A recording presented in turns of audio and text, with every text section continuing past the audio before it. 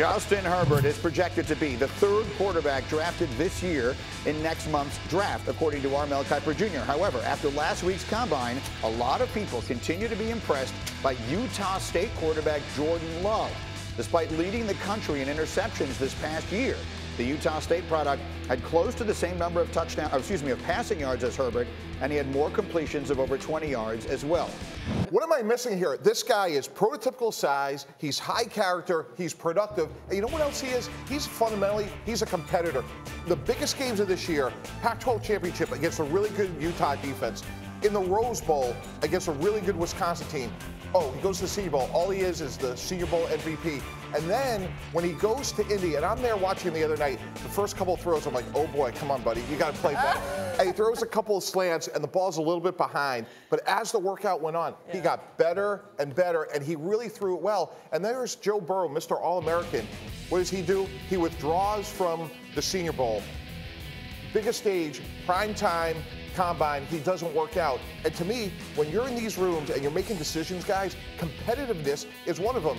And one last point I want to make, which is at the end of the day, guys, if we had traded Joe Burrow and put him in the Oregon offense and took Justin Herbert mm-hmm. and put him in LSU with those weapons, what would that conversation look what, like? What's the answer to that question? It's actually an interesting yeah, one. I mean, I think that Joe Burrow plays significantly more exciting football and a, a consistent football than Herbert did at Oregon. Again, or- Oregon's receivers were poor and their scheme wasn't good. And if you took Herbert and put him at LSU, he's going to have good stats and play well, but he's not going to have the the moments that Joe Burrow had. You I would, spent this weekend looking at Herbert and you have questions. I'd be scared to death to draft him early. I'd be scared to death to draft Justin Herbert early. Um, if you watch his game, one, skittish in the pocket against just the push in the in the pocket. There's skittishness there. Two, doesn't see things before they develop, like overshoots throws at times, wide open receivers, lacks anticipation, guides the football, misses throws.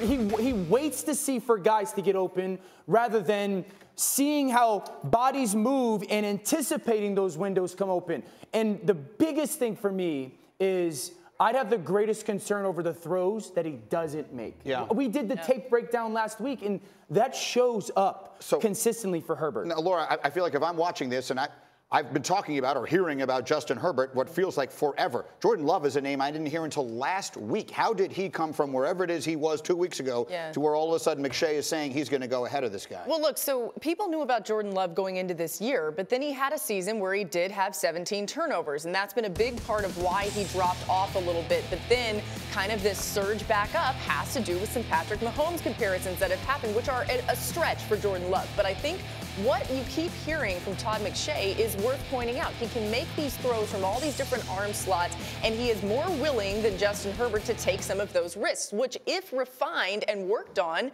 really could translate quite well to the next level. I, I saw a tweet from Louis Riddick. We need to all remember that these guys are unfinished products sure. coming out of, of college. They're just not ready for this next level yet, and that's why it depends so much on where they're drafted and where they end up, um, you know, to, to go on to that next level. Well, I'm really intrigued. I think those are all great points. I'm intrigued by Jordan Love. He's had 26 turnovers in two years, yeah. Yeah. ninth most in all of college football. That's a big concern taking him in the first round.